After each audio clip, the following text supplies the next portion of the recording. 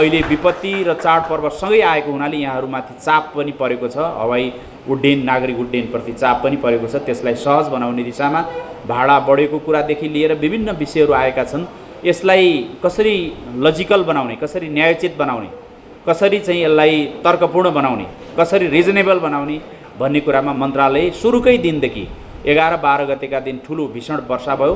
हामी बाह्र गते नै मन्त्रालयमा आकस्मिक बैठक बसेर तत्तत निकायहरूलाई निम्त्याएर तत्तत क्षेत्र सरकारवालालाई निम्त्याएर हामी काम गरिरहेका छौँ र हामी यो निरन्तर छ। अहिले भर्खरै पनि हामी यहाँ एयरपोर्टसँग सम्बद्ध ट्याक्सी व्यवसायीहरूसँग हामी बसेर छलफल गऱ्यौँ।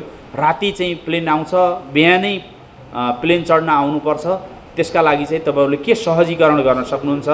कसरी यात्रुलाई सुविधा दिन सक्नुहुन्छ सेवा दिन सक्नुहुन्छ? यात्रुप्रति कसरी मैत्रीपूर्ण बन्न सक्नुहुन्छ? यात्रीकाप्रति एउटा अथि आत- आति अतिथिको संस्कार अतिथि देवोको संस्कार अनुसार कसरी व्यवहार गर्न सक्नुहुन्छ भन्ने कुरा हामी अहिले भर्खरै पनि छलफल गर्दै थियौँ। विभिन्न चरणमा एयरलाइन्सहरूसँग छलफल गरेका छौँ हेलिकप्टरका एसोसिएसनसँग छलफल गरेका छौँ।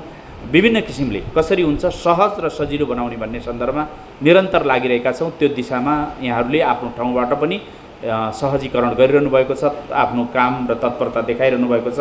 त्यसका लागि म धन्यवाद दिन चाहन्छु।